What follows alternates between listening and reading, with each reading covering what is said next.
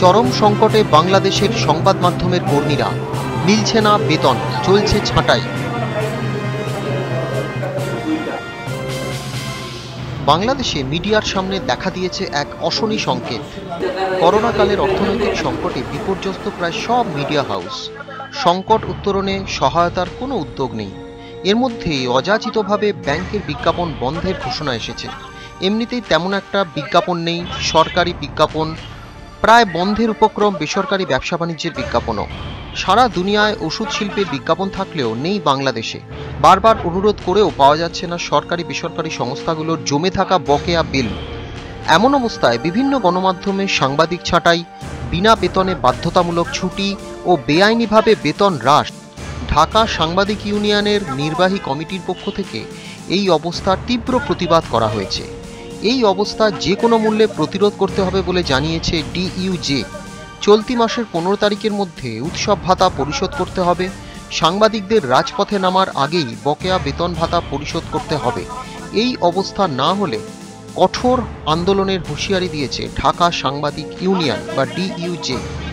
এরই ধারাবাহিকতায় দৈনিক আলোকিত বাংলাদেশ পত্রিকায় কর্মী ছাঁটাই বন্ধ ও বকেয়া বেতনের দাবিতে পত্রিকা অফিসের সামনে চাকরির যুদ্ধ, গণমাধ্যম কর্মীরা ঘেরাও কর্মসূচি পালন করেছে। সারা বিশ্বের মতোই বাংলাদেশে করোনা সংকটে গণমাধ্যমে এক ধরনের চাপ সৃষ্টি হয়েছে এবং এক ধরনের সংকট আমরা লক্ষ্য করছি। বিশেষ করে অনেক গণমাধ্যম কর্মী ঠুনকো অজুহাতে কর্মহীন হয়ে যাচ্ছে এবং বিভিন্ন গণমাধ্যম প্রতিষ্ঠান আর্থিকভাবে ক্ষতিগ্রস্ত হচ্ছে এবং অনেক প্রতিষ্ঠান বন্ধ হয়ে যাওয়ার আশঙ্কা আমরা দেখছি। এই মুহূর্তে আমাদের পেশাদার গণমাধ্যম কর্মীরা চরম অনিশ্চয়তার মধ্যে আছে। তবে বাংলাদেশের মাননীয় তথ্যমন্ত্রী, তিনি কিন্তু এই গণমাধ্যমকে খুবই ইতিবাচক জায়গা থেকে পৃষ্ঠপোষকতা করার চেষ্টা করছেন। সর্বোপরি আমাদের সরকার প্রধান বা মাননীয় প্রধানমন্ত্রী, গণমাধ্যম প্রধানমন্ত্রী, তিনি চাচ্ছেন এই গণমাধ্যমকে টিকিয়ে রাখার জন্য সার্বিকভাবে সহযোগিতার হাত প্রসারিত করতে। আমরা গণমাধ্যম বান্ধব প্রধানমন্ত্রী শেখ হাসিনার উপরে পূর্ণ আস্থা রেখে বলতে চাই যে আমাদের উপরে যত সংকট বা যত ধরনের চাপই আসুক, শেষ পর্যন্ত গণমাধ্যম কর্মীরা টিকে থাকবেন পেশাদারিত্বের জায়গায় এবং গণমাধ্যম কর্মীরা টিকে থাকবেন পেশাদারিত্বের মাধ্যমে। এই প্রত্যাশার জন্য রেখে আমরা গণমাধ্যমকে সাংবাদিক সংগঠনের নেতৃত্বের জায়গা থেকে সার্বিকভাবে সহযোগিতা করার চেষ্টা অব্যাহত রেখেছি। ধন্যবাদ।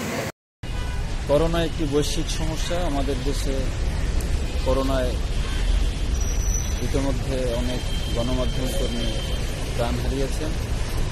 আমরা আশা করছি আমাদের এই করোনা কেটে গেলে আমরা আবার গণমাধ্যম কর্মীরা স্বাভাবিকভাবে আমরা আমাদের জীবনে ফিরে যেতে পারি আমি বলছি যে বাংলাদেশের গণমাধ্যম কর্মীরা এই করোনাকালীন সময়ে তারা জীবনের ঝুঁকি নিয়ে পেশাগত দায়িত্ব পালন করছে। এই পেশাগত দায়িত্ব পালন করতে গিয়ে প্রায় চারশোর অধিক সাংবাদিক করোনায় আক্রান্ত হয়েছে এবং অনেকে এই দীর্ঘদিন হোম কোয়ারেন্টাইনে আইসোলেশনের থেকে তারা মুক্ত হয়েছে। আবার অনেক গণমাধ্যম কর্মী মারাও গেছে। এই প্রেক্ষিতে সারা দেশের গণমাধ্যমগুলোতে এক ধরনের অস্থিরতা বিরাজ করছে। স্বাভাবিক জীবনযাত্রা স্থবির হয়ে গেছে দেশের। ফলে গণমাধ্যমের যেসব প্রিন্ট সংস্করণ, পত্রিকা, দৈনিক পত্রিকা, এর কাজটি অনেক কমে গেছে। বেসরকারি খাত থেকে বিজ্ঞাপন কম আসছে। এ কারণে অনেক গণমাধ্যমে কর্মী ছাড়াই চলছে কারণ তারা পোষাতে পারছে না, গণমাধ্যম মালিকরা বলছে। এই অবস্থায় সরকারের পক্ষ থেকে সাংবাদিকদের আর্থিক সহায়তা দেয়া হচ্ছে এবং হয়েছে। সরকারের পক্ষ থেকে বলা হচ্ছে, গণমাধ্যম কর্মীদের খাবারের নিশ্চয়তার জন্য এ ধারা অব্যাহত থাকবে।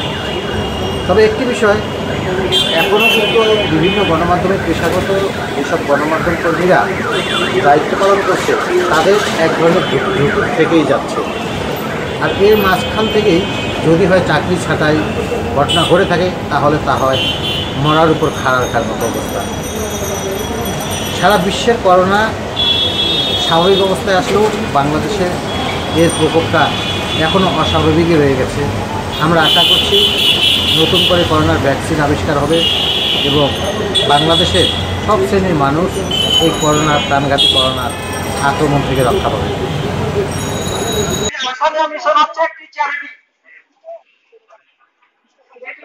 ঢাকা থেকে জাহাঙ্গীর খান বাবুর রিপোর্ট, টাইমস বাংলা।